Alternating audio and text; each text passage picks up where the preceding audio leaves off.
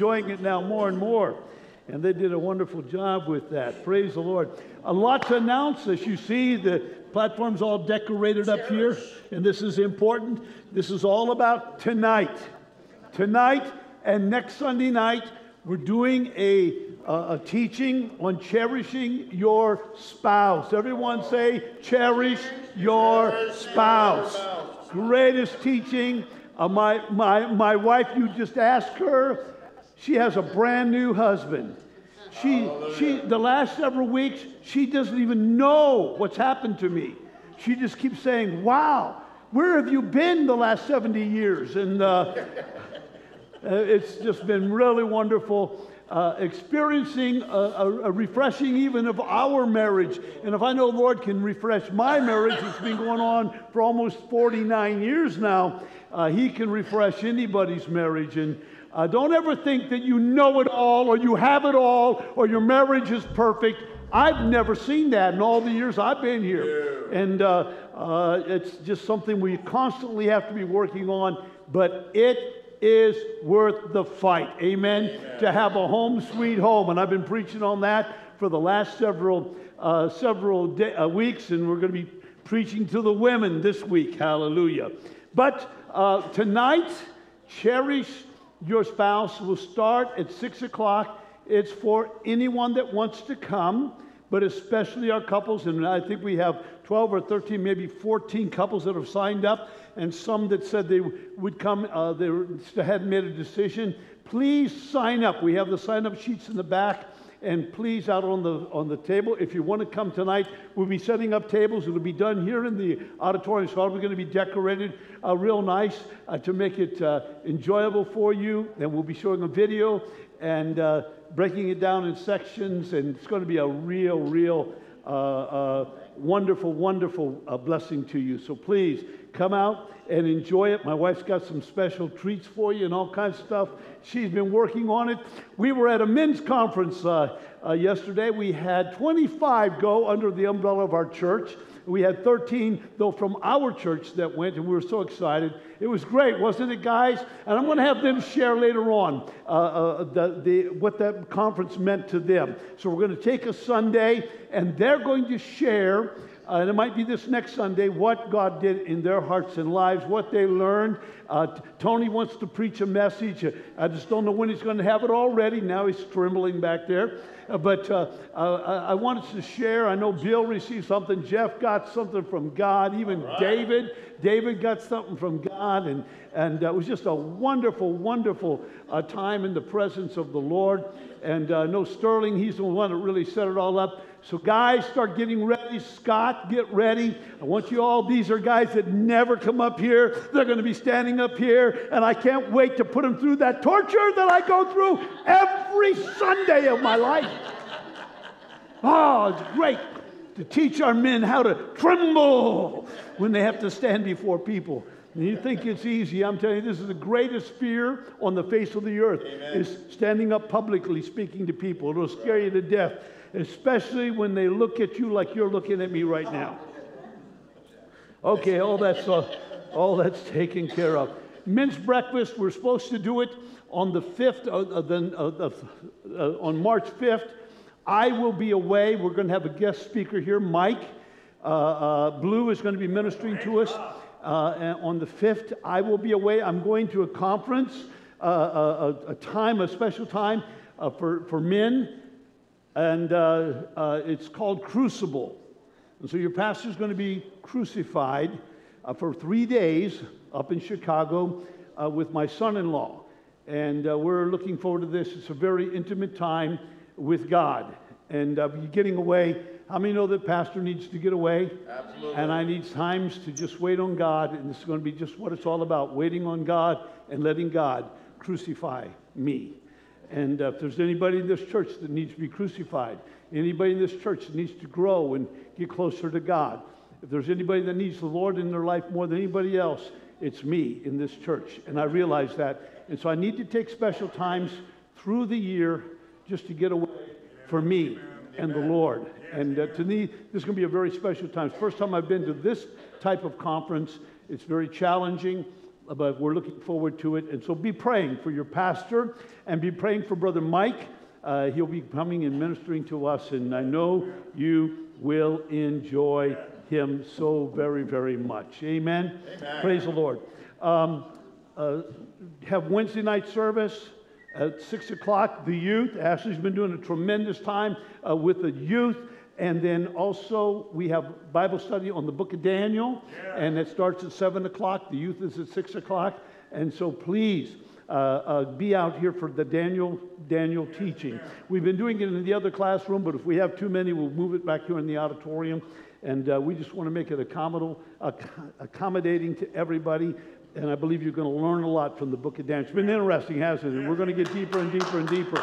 And I believe it'll be a, a blessing to you. Praise God. Well, I believe that's it, except that we need to pray.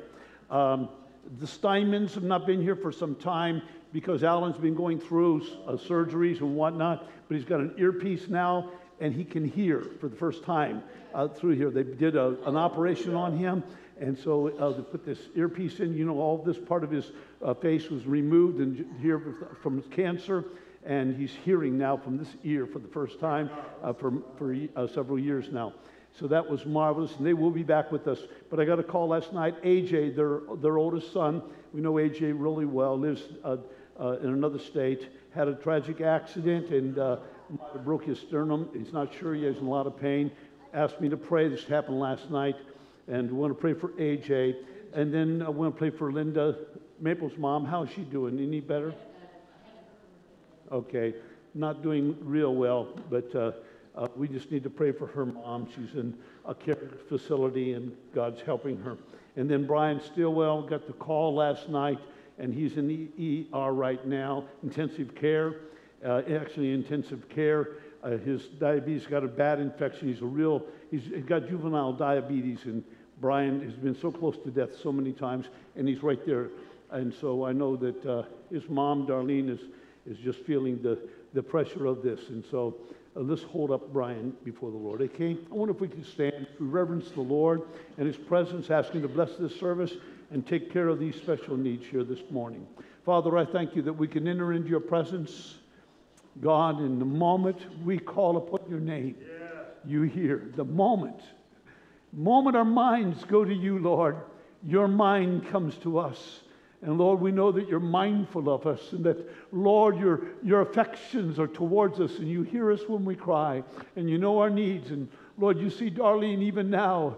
Her heart is with her son, Brian, and I pray, God, somehow you'd spare his life and bring healing, take care of this infection that, that's uh, uh, entered into his stomach, Lord, and all the area of his intestine, and God, has affected his diabetes. Lord, in your gracious mercy, let the medications work. Give the doctors wisdom and spare Brian's life in the name of Jesus Christ. Be with AJ, Lord. Help him. He's suffering right now with this accident that he's been involved in. We thank you, spared his life. We pray you'd be with him in a special way and draw him close to you, Lord. May AJ realize that his hand is in the hand of God. His life, Lord, belongs to you. And Lord, I'll praise you for that. You're such a faithful God. And we bring Linda's mom to you, Juanita. What a precious saint. All through her life, she served you, Lord, and loved you. Now she suffers with dementia and now this illness. I pray, God, you keep your hand upon her. Let the joy of the Lord be her strength, God. And I pray that you'd comfort her in that facility and protect her and heal her for your glory. And have your way in this service, Lord. Pour out your spirit. Pour out, Lord, your love. Pour out your joy. Pour out your speed, your, your peace, Lord. Joy. Pour out your truth, God, today. And let the songs and the worship and everything be used to draw us to you. And we'll praise you for it and glorify you for it in Jesus' wonderful name. Hallelujah. And everyone said, Amen. God bless you. Let's enter in. Let's worship the Lord and let God have his way.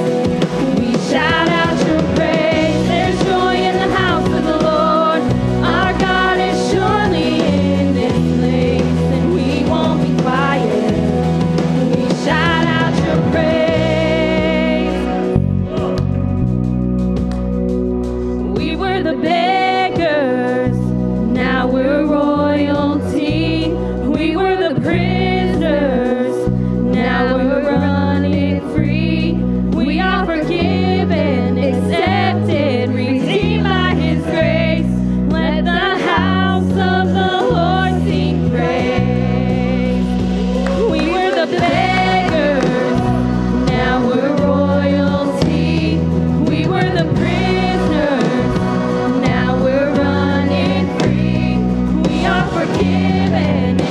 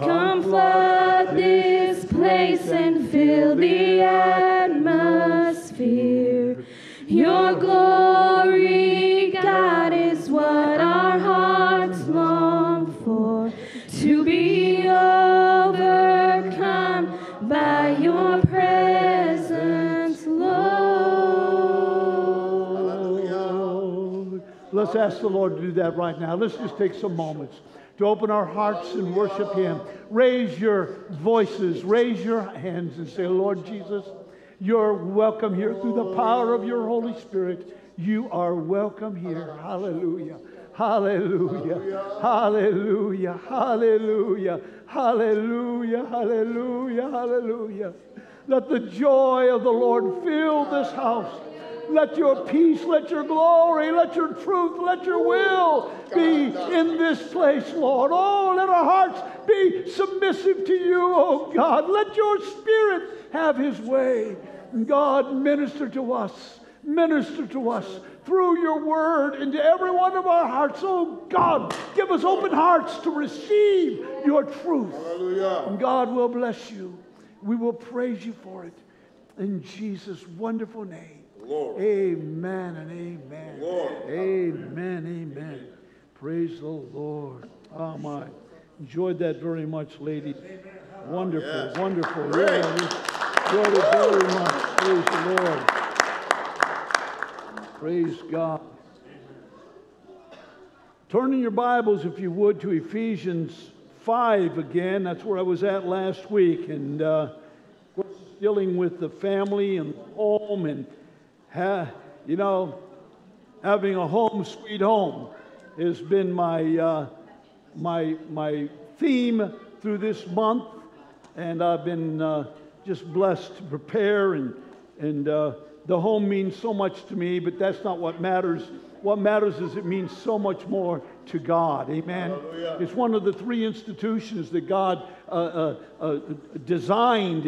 And when He was designing this world, it was first of all the home or the family. That's why He created Adam and Eve, because He knew we needed a family. And from that family, He was going to build what we call uh, uh, the, the, the governments of this world. You see that later on in Genesis, where He began to bring government uh, into control. And uh, after Noah came out of the flood and began to organize the, the government and that. And then later on, from the family, God was going to institute the church, which we are enjoying today. Isn't that wonderful? And those are the three uh, things that God did in, in, his, in His plan and His purpose for all of us. And so we're here today uh, uh, because of the goodness of God towards us that's instituted these wonderful uh, things that we have to enjoy in this world. And uh, I thank the Lord that the greatest of all of these is the family. Amen. How many know you can have church in the family? You really can. And We've had church in our family so many times, uh, uh, just singing, worshiping, uh, having devotions and family time. And uh, my house, many, many, many, many times, has just become a place that's been filled with the presence of God. And I thank the Lord for that. I love it when my kids come around and both my boys play the guitar, my wife plays the piano and whatnot. And, the, and, uh, and they'll, they'll start playing their guitars, and I'll get out my guitar. And uh, uh, that was so funny. Just a couple weeks ago, we had uh, uh, one, some of the grandkids with us. And uh, I told him, I said, Did you know that your grandpa plays the guitar? And their eyes just lit up and said, no, you can't play the guitar. I said, Yeah, I can get, play the guitar and I can sing. And they didn't believe me. So I pulled it out and I played the guitar and sang a song for them. And I think I maybe I told you this already, but they told me I need to make a I need to make a recording. Amen. I love grandkids, you know, they're so innocent. and, and I might not be able to satisfy too many people with my singing, but boy, they were touched by it. And uh, I had a joy doing that. But God is. God is so good. And we dealt last week about husbands loving their wives, and we need to do it with a sacrificial love, a sanctifying love, and a sensitive love and how we need to meet the needs of our women, uh, their affection, their need for conversation, their need for honesty and openness, uh, their need for financial security, and the family commitment, and how this is so important uh, for uh, the men to do this. And it's a calling that God has placed upon our life. It's a holy calling. It's the most sacred thing you'll do on this earth is to be the man of your house. Amen. I'm telling you, I take it as the greatest challenge and the greatest blessing in my life is to be known as the patriarch of my home and, and to have my children honoring me and me loving them and a wife that loves me and cherishes me and a wife that I love and cherish mean more to me than anything else in the world other than my relationship with God. And that relationship all hinges on my relationship with my family. It's so important. And the only time I ever, ever even have the inkling thought of resigning from the ministry and quitting is when I'm a failure as a father and I'm a failure as a husband. And it's happened from time to times where I've just failed God and I felt so miserable and I can fail you, I can fail anybody, but when I fail God and I fail my wife, I'm telling you, I just feel like quitting. I feel like it's uh, everything that I live for, everything that I stand for is in that relationship. And uh, it means more to me than anything else in the world. And uh, sometimes I fail in those areas just like you guys do.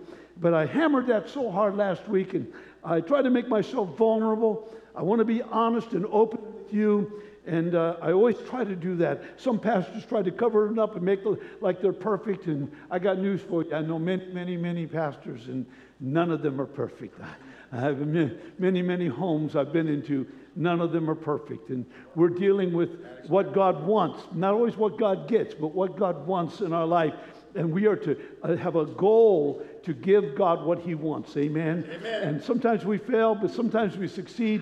And when I'm succeeding, I never feel greater in my spirit than when I'm doing that which pleases my wife. Because when I know I please my wife, I am pleasing my Savior. And that's so important. Amen. Uh, but this morning I want to talk to the wives and uh, uh, the husband's number one need. Remember, I told wives' number one need is what? To be cherished, loved. Okay? Husbands are to love their wives like Christ loved the church. Preached on all that last week for these husbands. And I want you to turn to Ephesians 5:22. I want to read some verses to you this morning. Wives, wives, women, if you're not married, if you plan on getting married anytime soon, or even time, even if you're not planning on it, but hey, it happens. Believe me. Catch this next word. This is the greatest need. Submit yourselves under your own husbands as unto the Lord. For the husband is the head of the wife, even as Christ is the head of the church, and he is the Savior of the body.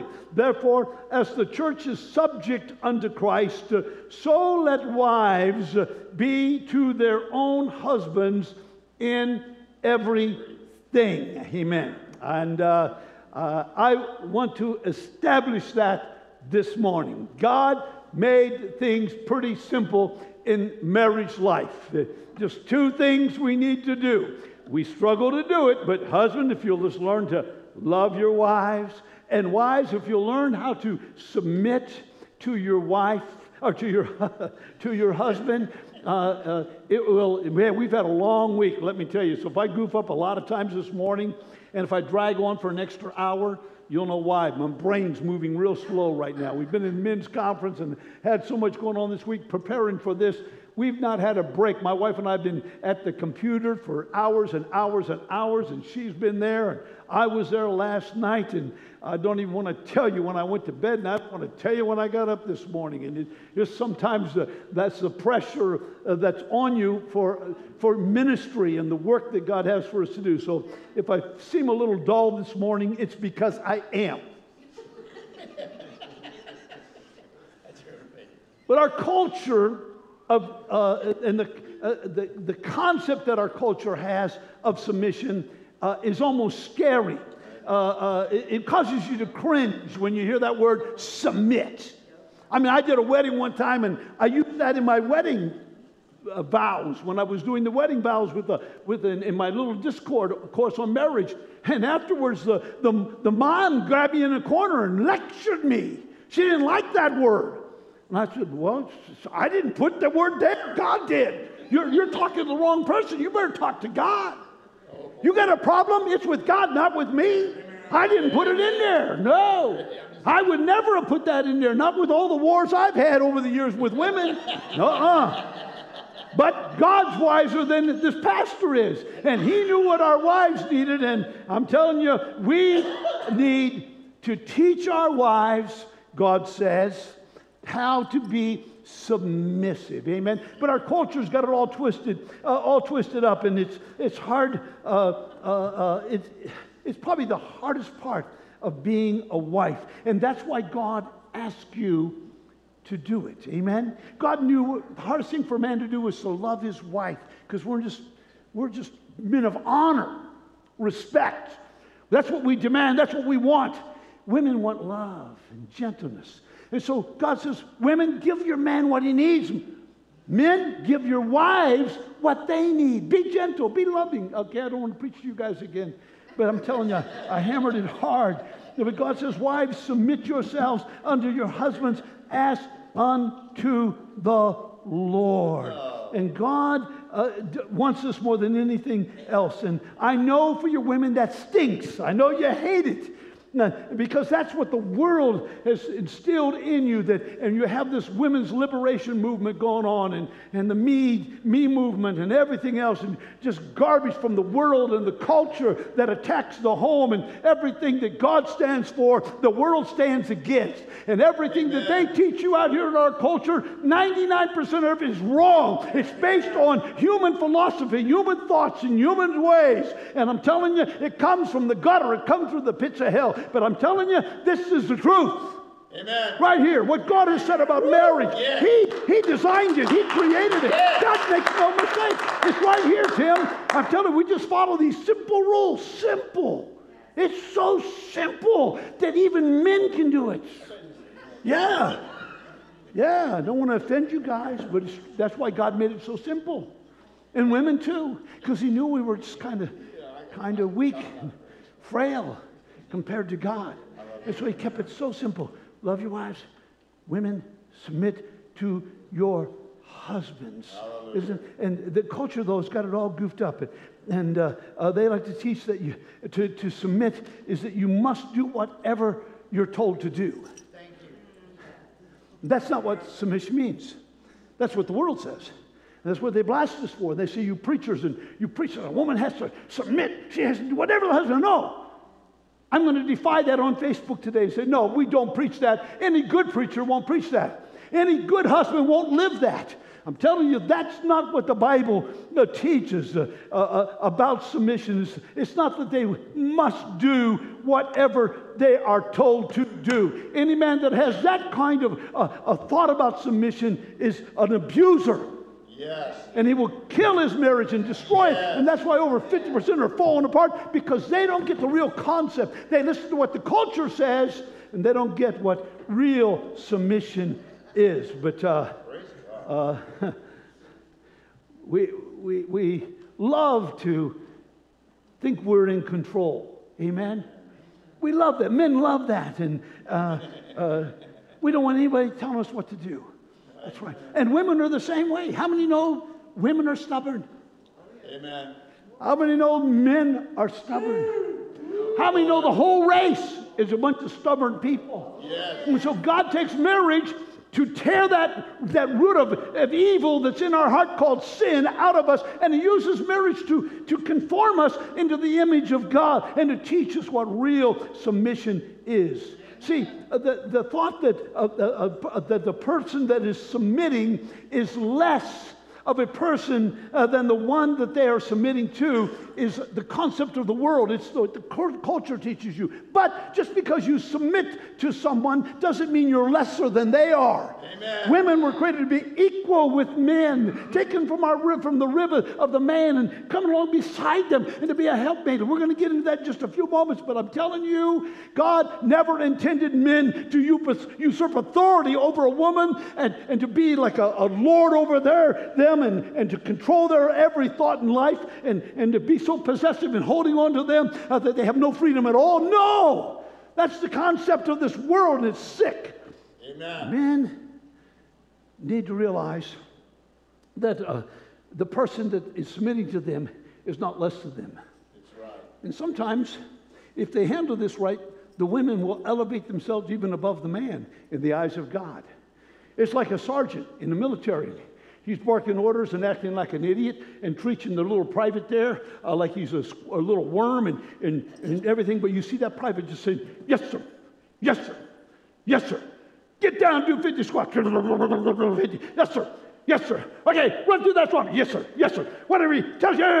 And it looks, and every, all these other soldiers, you know what they're thinking? That sergeant's a jerk. He's an idiot.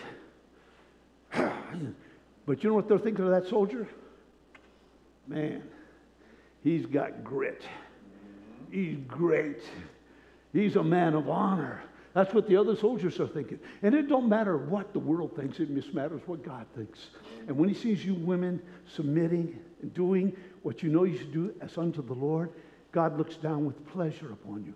And not only that, the world will see it, the church will see it, people will see it, and they will realize that women, I'm telling you, you don't lower yourself by submitting. You raise yourself, you elevate yourself up. And I'm not talking about abuse here. I'm not talking about a man uh, over overextending his authority in your life. But I'm telling you, when you submit, it's not making you a less of a person, it's making you a greater person in the eyes of God. And it's nothing to do with claiming men and women are not equal. I promise you, I will never, I look at you as equal. I look at the wife, I look at the husband as equal in the sight of God. He's elevated you both to a place of esteem and glory for His sake. And when you put that together as a woman, hallelujah, and in a marriage, God will bless you. I, I've only thrown one person out of my office. Only one person has ever been thrown out of my office. I literally told him to get out, out of my office now. Get out that door. Don't ever come back to this church again. Because he was disgracing his wife, who was godly and more precious than that guy could ever understand. And to this day, he is an absolute idiot, an arrogant fool that thinks he's righteous and holy and greater than anybody else, and he's on his way to hell because he has failed to honor his wife. I'm telling you, I won't stand for that. I believe that I've got to stand for certain things. And when I see a husband just, just humiliating his wife and doing things that I know are evil and wrong, nothing boils my blood more than that. So, ladies, I will come to your uh, defense if you act like, if your husband's acting like an idiot. Don't ever hesitate to call. My wife and I will go and we will deal with the matter. And if I can't handle it, she can.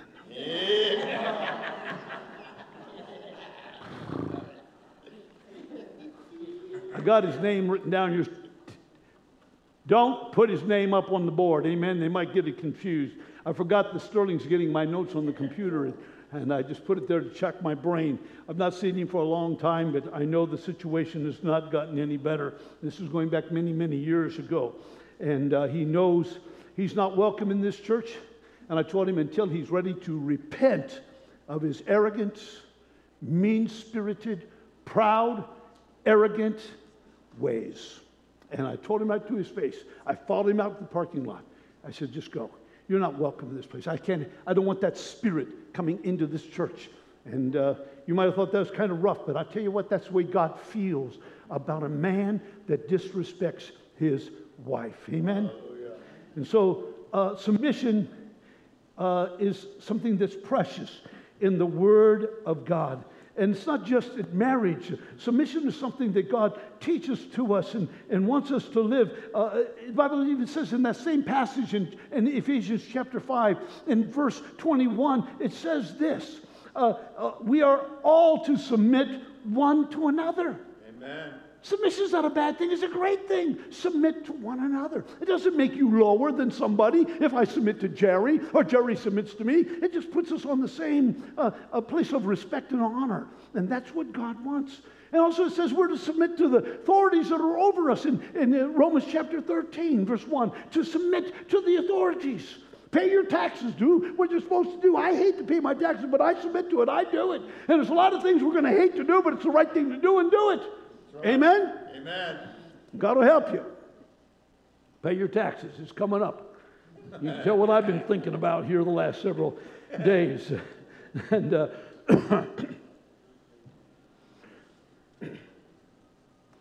when you do that, you're, you're, you're doing what God wants you to do. And so submission is not a bad thing, it's a good thing. And I love it when I see a woman submit to a husband. Uh, my mother in law, Sister Cover, some of you still know her. She's passed on for about three or four, four years now since she passed away, godly woman.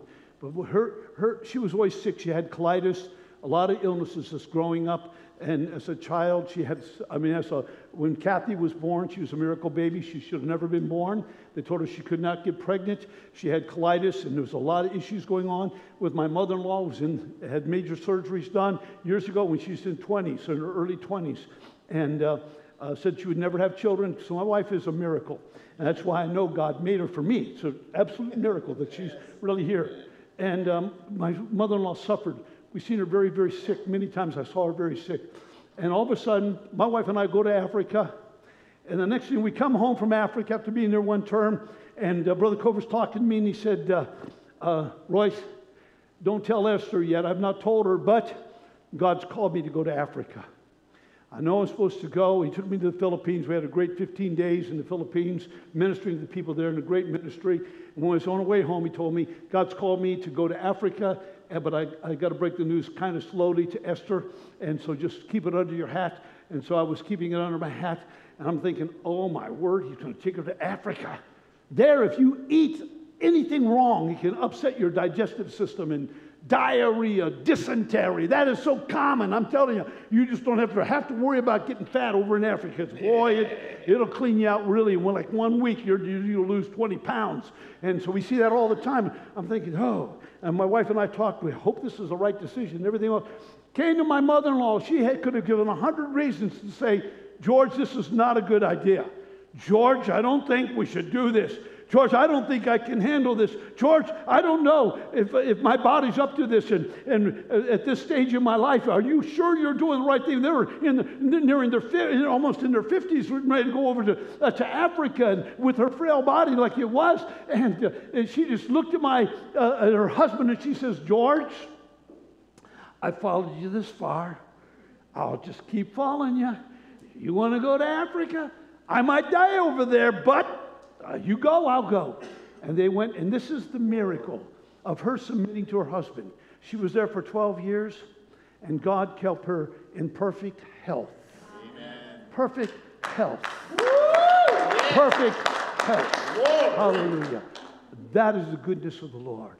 And brought her home, and she was with us in perfect health up until the day she fell and hit her brain uh, in her head and bled to death from a, a, a brain bleed. And even that was a gift from God because God had told, oh, she'd been calling us and saying, I don't want to be a burden. I know I can't see and I can't hear and I don't want to be a burden to you and Catherine. I kept saying, Sister Cover, we love you. You'll be in our home till the day you die. You will be in our home. We will take care of you. We'll turn this place into a nursing home. You will, we'll take care of you until we cannot take care of you anymore. You are our life and blood, and we, I promise to take care of you. I promised your husband, we will take care of you till you die. So I don't want to be a burden. I don't want to be this. I don't want to be this. And then just not even a day or two later, she was telling her sister on the phone, I don't want to be a burden to them.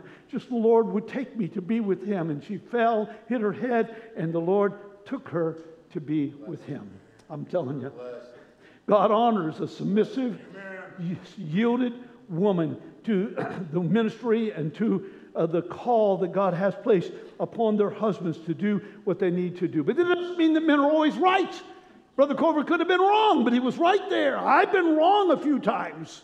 My son wanted a motorcycle. I said, I think that's a good idea. My wife said, I don't feel good about this. I says, You don't? She says, No. I don't think you should. I says, honey, leave it to me. He, I rode on a bike motorcycle for 22 years in Africa. He can handle it. He can do it. I don't think he. Oh man, Whew, back and forth, back and forth. She kept saying, I don't feel good about this. Tears.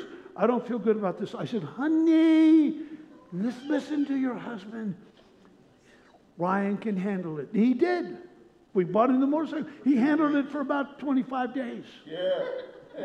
Then he was laid up for a whole year with a motorcycle accident and almost put me into bankruptcy. And it was like, whoa. And for some years, my wife said, See? You know, you can finish the rest of the sentence. I told. Is how many men have ever heard that? Well, I've heard it many a time in my life. So I have been wrong, but there's been times I have been right, few times. And I love it when I'm right and she's wrong, and then I can come back and say, see? I'm not always wrong, just most of the time. Listen to your wives, I'm telling you. they're, they're, they're given to you for a divine purpose.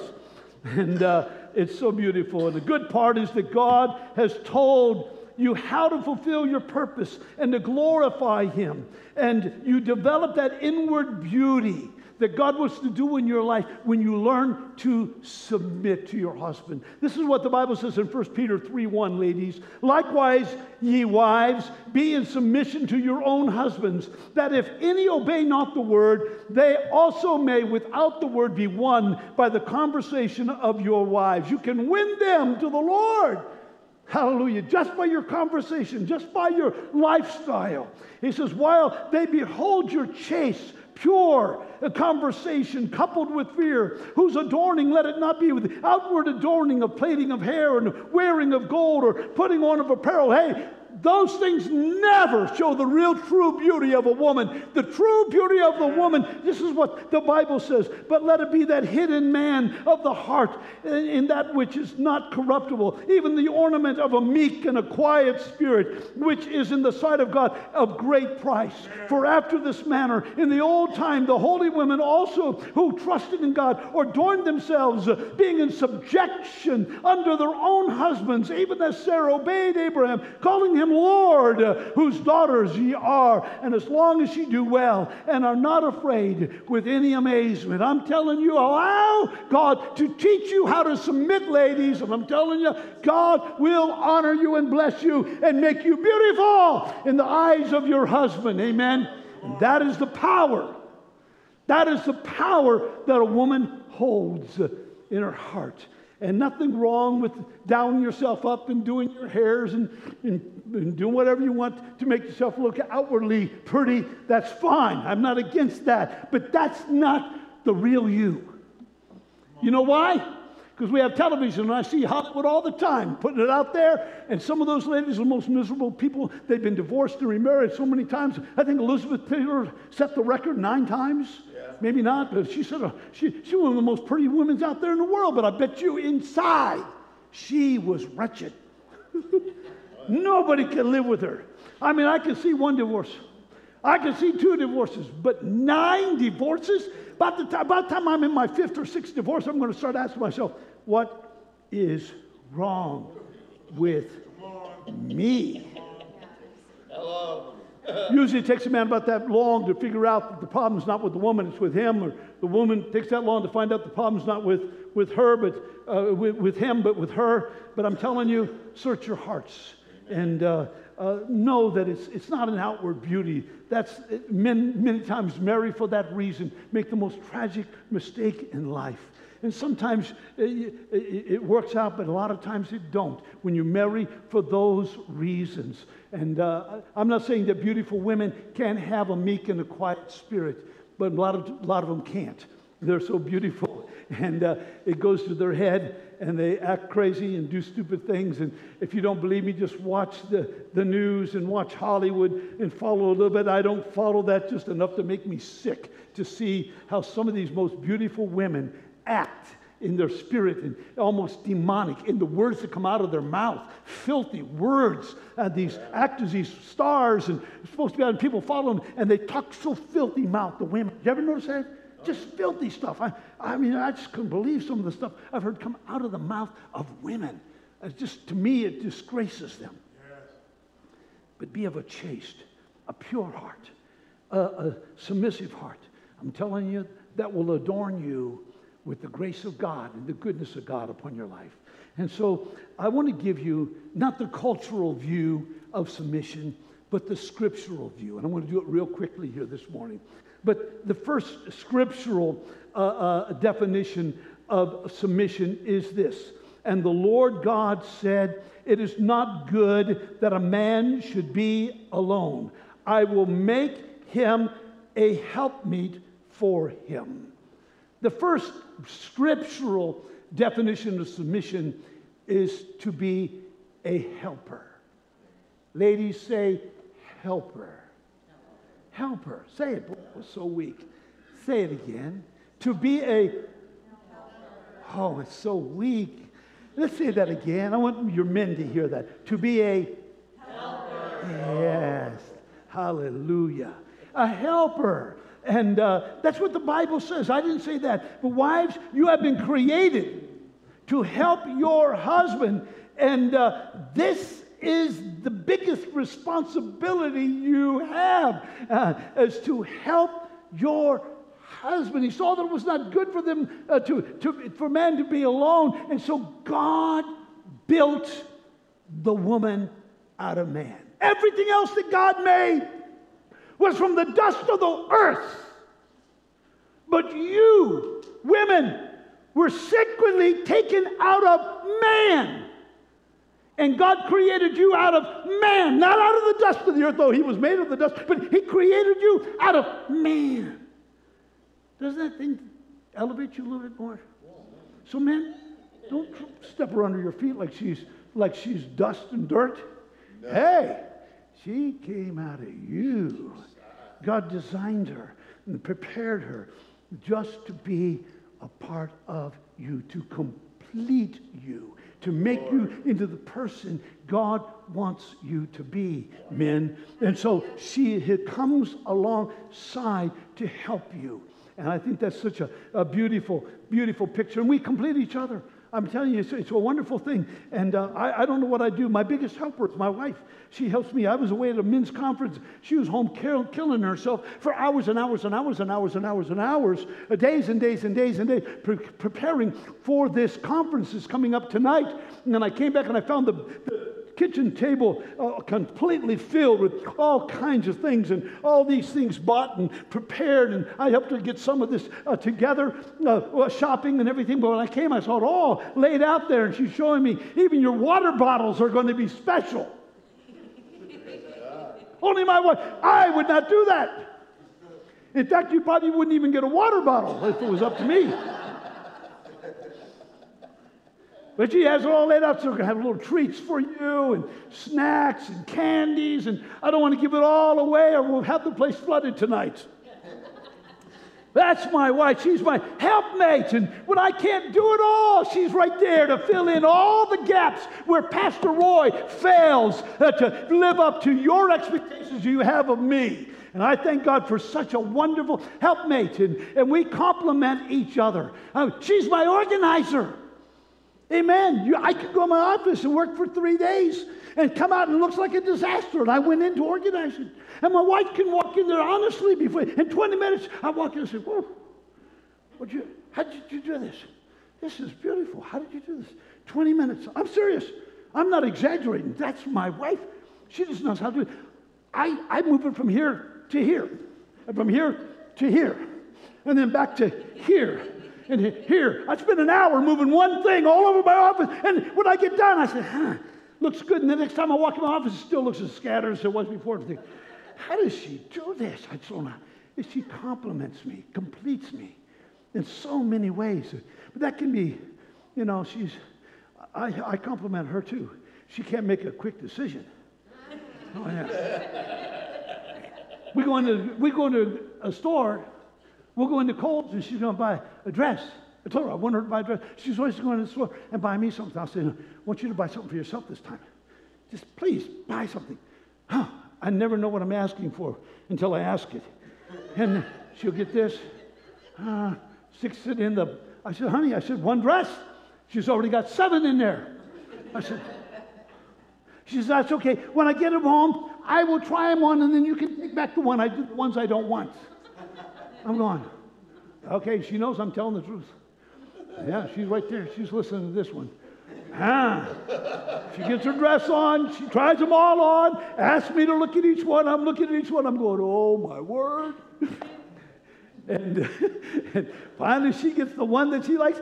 It's really bad when she tries on all seven and says, I don't like any of them. You'd think a guy would be happy because he's going to save money. But I got to take them all back and say, okay, here's this. What's wrong? Nothing wrong with this, nothing wrong with this, nothing wrong. My wife just didn't like it, didn't fit her right. I don't know, but, but I do it sweetly to my wife. And if it's a woman that's waiting, I treat her sweet too so that I don't create some problems for myself. But we compliment each other. And she'll say, What do you think of that? I say, Honey, I, that, that's the one. I like it. I like it. And sometimes I can really convince her, and she will do it. But um, most of the time, that's not the way it goes. And, but we need to be supportive of each other. But women need to support their husbands. They need to be there to be a, a help to them. And uh, when you're not helping, you're hindering the home. And your attitude, your behavior, your actions, all these things, your responses to your husband, and how you respond uh, can really upset a home. And so you've got to learn how to be a helper, but not domineering, a helper that comes along and tries to give guidance and help to the husband. Secondly, to honor your husband. Ephesians 5:33 says this, nevertheless, let every one of you in particular so love his wife, even as himself, and the wife see that she reverences, that word means to honor and respect her husband. How do you honor him? How do you honor him? Okay? Your honor, you honor your husband by recognizing his needs and striving to meet them. A real wife will realize the weaknesses of a husband and she will look at ways to minister to those needs. And uh, um, one of the greatest needs of a husband is to be needed, just to feel needed. And when you let your husband know he's needed, that you can't live without him, and that you really love him, if you love him, he's going to sense every day that you really need him and help him to feel needed. Am I speaking the truth, guys? Oh, man. Huh? you're hitting it Don't right you like to feel needed? Right on the head. And uh, I love it when my wife says, I need you. And I just appreciate what you do for me. And uh, uh, that's so important. And we honor our husbands by helping them feel needed and let him know that he is needed and praise him when he fixes things and helps you in the areas that you need. And you know what? Sometimes, ladies, just conjure up something in your mind. Just I know you really don't need him for that certain thing, but let him think that you really need him. It'll just elevate his ego. He'll, he'll come walking out of there going, huh, huh. Showed her a few things there, huh? I'm not as dumb as she thinks I am. Just don't mess up when she asks you to do it. That's the only thing. Honor your husband in that way and help them. Help them. Well, I should say that's the first thing. Help them and then honor. Honor your husband. And you honor him by, by just letting him know how much you need him. And uh, so uh, the Bible says you honor your husband uh, by doing that and then support him as he leads. As he leads, as he makes decisions and whatnot. When it doesn't matter, just be happy that he's making a decision and doing something to lead the family. And uh, if he comes home and says, Hey, hon, let's just go in the backyard and sit down. You got a million things going on. Hey, let him lead you to the backyard and sit down with him. Don't be grumbling. He never talks to me. The one time he comes home and says, Hey, let's go. Remember, he's getting this teaching now, so expect to have brand new husbands in the next weeks, okay? So if your husband says, hey, let's go back, I know it's been a busy day for you, I love you, honey, let's go back here and talk on, on the back porch for a little bit. Don't fall over dead. Don't be shocked. Let him know he's needed. Go back there and sit and talk with him. And, and uh, you never know what that will lead to. Praise the Lord. Support him as he leads you and show honor and respect for him by supporting him even uh, when it's not easy to, even uh, when he's making a mistake, maybe, or, or you think he's doing something wrong and making a wrong decision, still support him if he really feels this is what he should do, like my mother in law did for my father and uh, my father in law. And I'm telling you that I know that that made my father in law feel so honored. And then highlight his good qualities. You know, when I do counseling with married couples or coming to get married, I always counsel with them three times before I'll marry them. I've got a couple marriages coming up later on this year. I always sit, love sitting down and I ask them this thing. I ask them this Give me 10 qualities about your mate that you admire, that you like. And they look at me like, 10? I said, Yes, 10. You go home and work on it this week. I'll see you in a week or two weeks, whenever we say. Come back. I want 10 qualities and I want five qualities that you hate. I don't have any. Yes, you do. Just look hard enough.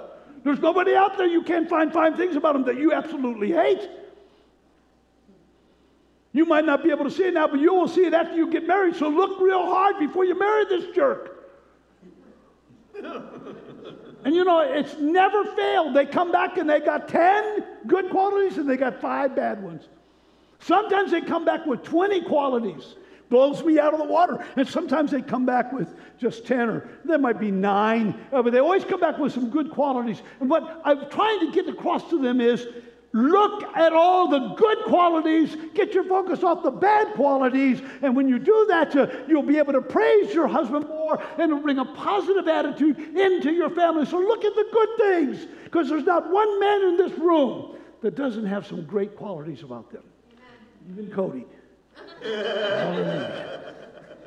I know I can pick on him, so. And I wanted to encourage Christine a little bit. Hey, just be patient with him. He's, he's doing really good. I know, I know for Valentine's Day, he took you to a farm fair, and I know that every year for Valentine's Day, he takes her to the, to the fair, farm show, right? Yeah, big farm show. I said. I asked Jeff, I said, where's Cody? He said, he took her to the farm show every, for Valentine's Day. I thought, wow, Cody. But Christina, being the submissive wife, she goes with, and I think she enjoys it too. It's a big, big deal up there. And they take a trip, and so family day, and so it's quality, it's good time. Amen. And so everybody's got their own way, own way of quality of praising and making the husband feel worthwhile and good. And women, that is your role to honor your husbands. Amen. Praise them. Every opportunity you get to praise them because they love that. Amen. And then love your husbands. Titus 2:4. The Bible says this in Titus 2:4. He tells Titus to have the older women train the younger women to love their husbands and their children. And uh, this is so important, so important that you show love to your husband. And love is something that takes learning, it's not just feeling. And you need to learn how to love your husband just like he's learning how to love you. And love is shown not by feeling, but by action. The Bible says in 1 John 3:18, "Dear children, let us not love with words or tongue, but with deeds and actions in the truth." And uh, you show love for your husband and what you do for them. And uh, uh, when you notice a need in their life, meet that need. That shows love. And uh, uh, if, uh, do, if you strive to do things that speak love to Him, I'm telling you, it will touch His heart. And uh, how, do you, how do you do that? Well, if you feel loved when your husband buys you a gift, don't you think every once in a while you should buy your husband a gift? Huh? Bring something home for him. Set something up or do something. Don't have to cost a lot of money. My wife, I sent her back to Kohl's to take back an Amazon package, and she got $5 for taking it back. I don't know, ladies, if you know this yet, but every time you take something back to Amazon, which I'm doing quite often, I make $5. But this time I thought I'd bless her and let her take it back so she could get the $5.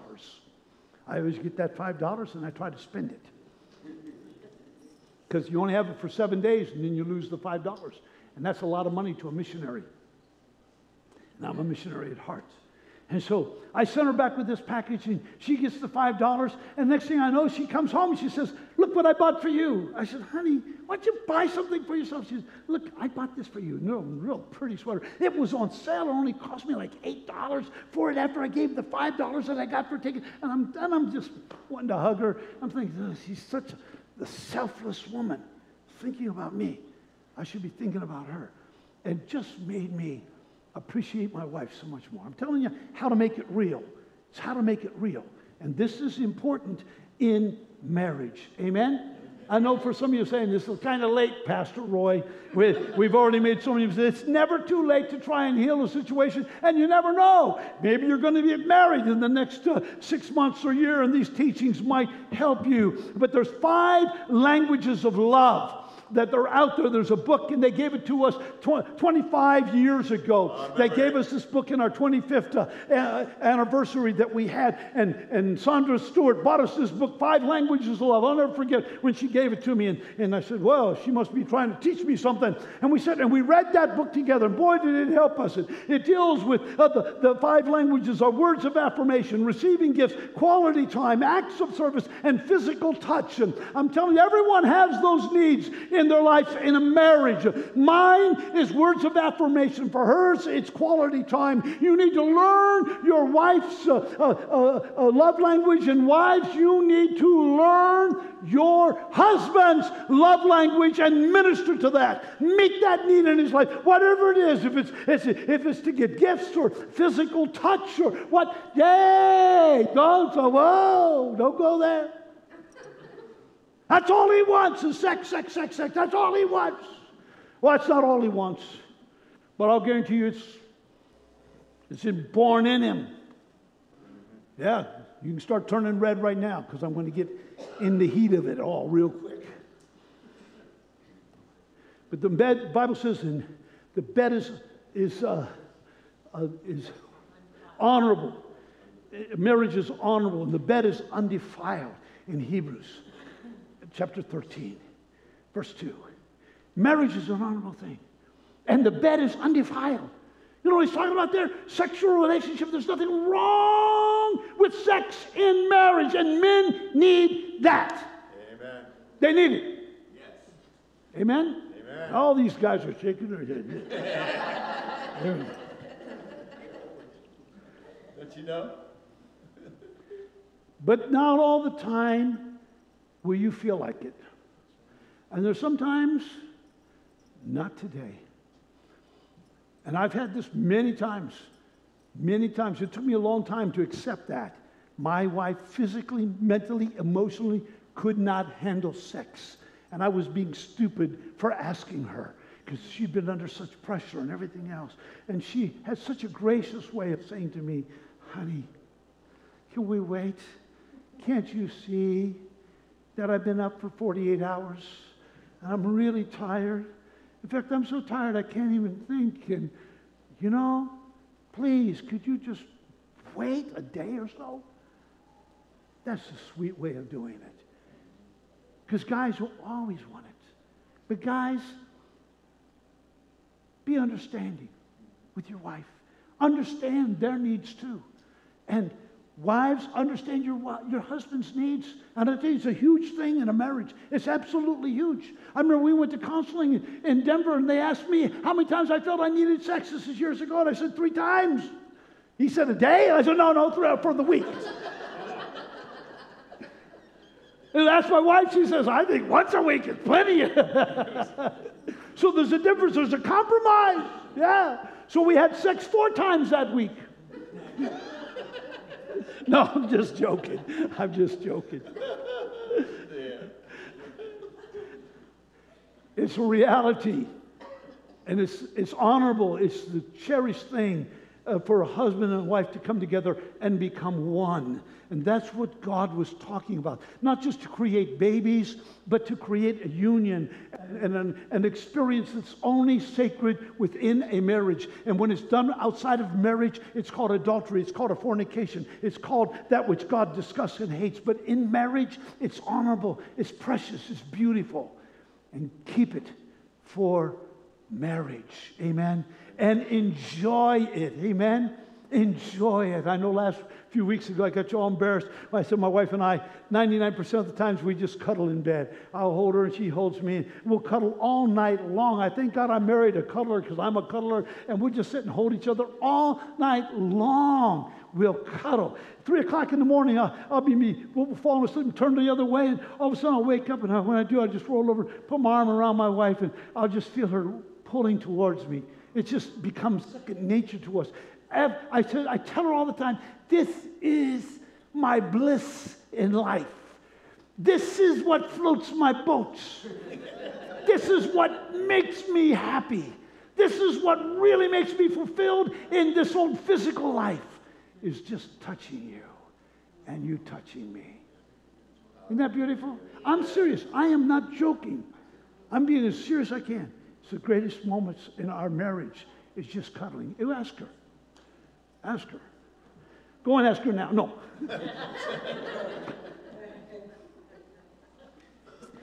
Set date nights, wives. Get your husband's attention. Prepare a special night for him when he comes home. Shock him.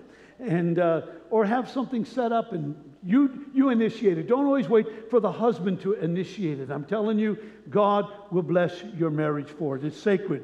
And God will honor you and bless your home. And so don't see sex as a dirty word. And don't see submission as a dirty word. It's sacred in the eyes of God.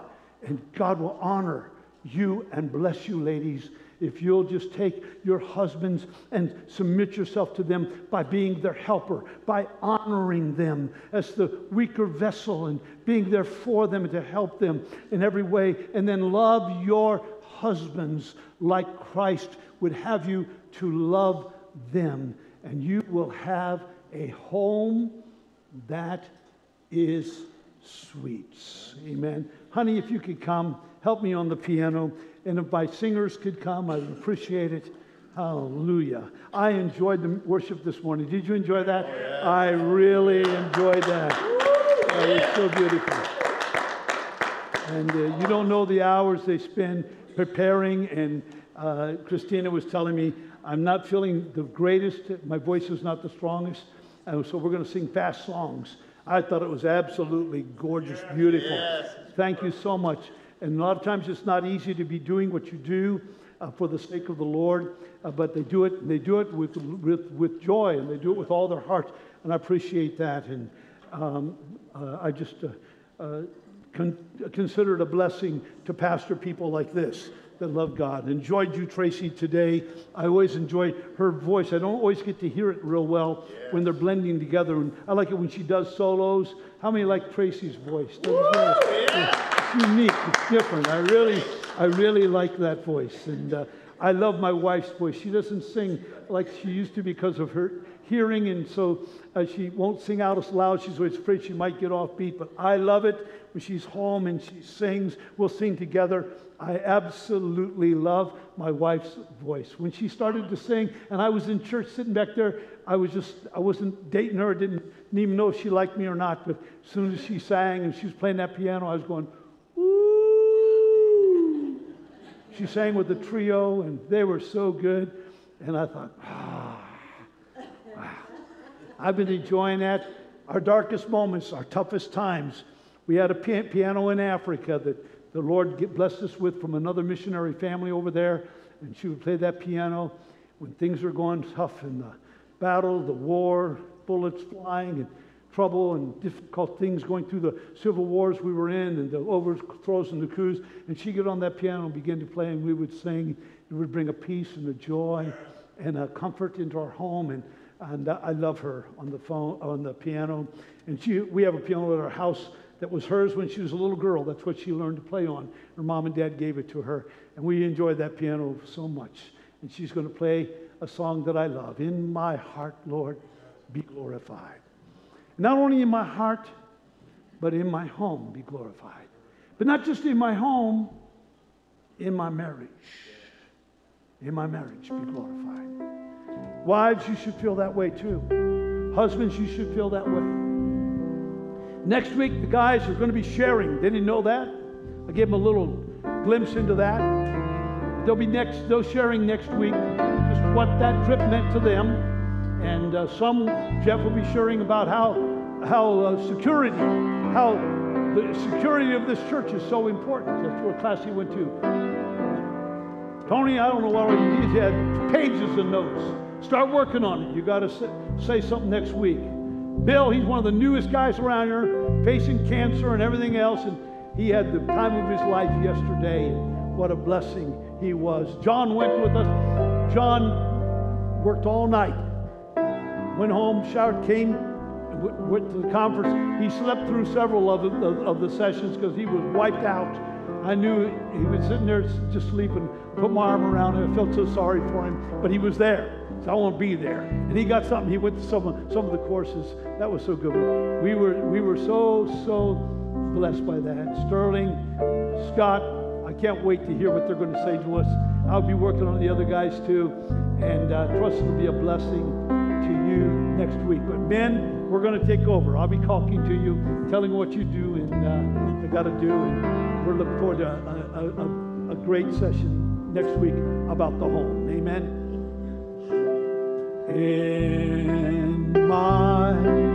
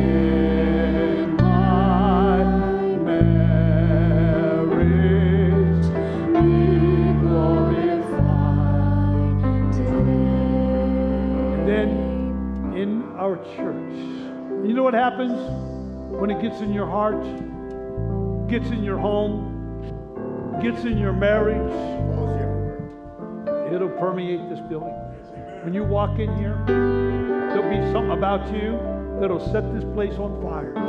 You know you've been in the presence of God. You need to be in the presence of God, not just here, but at home. And you bring that presence with you into this place, and this place becomes lit up with the glory of God. Hallelujah. Amen. In my church, church,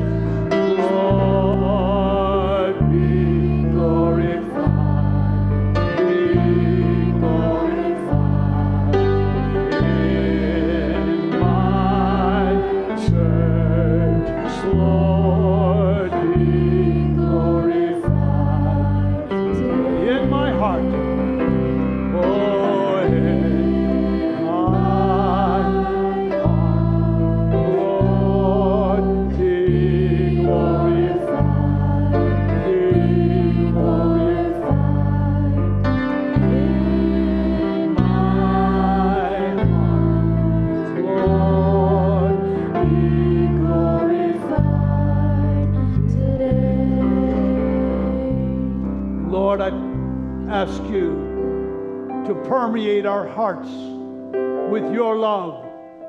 So that, Lord, with your love, we will learn to love our wives. And with your love in our hearts, our wives will learn to submit to us by the grace and mercy of your great love. And that, Lord, you would blend our marriages together in such a bond of love and unity that no power, no weapon of the devil could in any way separate that which you've joined together, God. And that you would keep us, keep us as one in the family, and keep us as one in our church.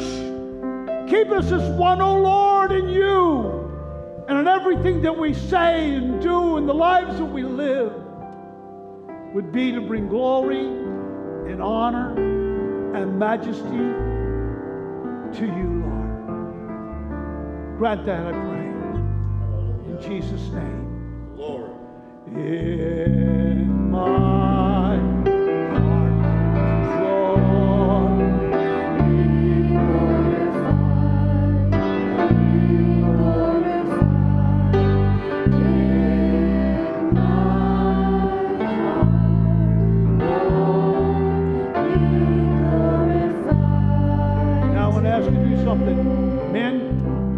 Mary, grab hold of your wife's hands. I'm going to lay my hand on her shoulder because she's playing the piano. Touch her hand and let's pray and make this our prayer to the Lord in my marriage. Be glorified. Amen. Tony, come on up here. You better come up and lay your hand on her. Tim, you better get up here. Hallelujah. Cody, no. Cody, where's Cody? Cody. Hallelujah. Man. Man. The first time I've had him up here on the platform. I love this guy. He's my buddy. Hold their hands. Let's sing it to the Lord.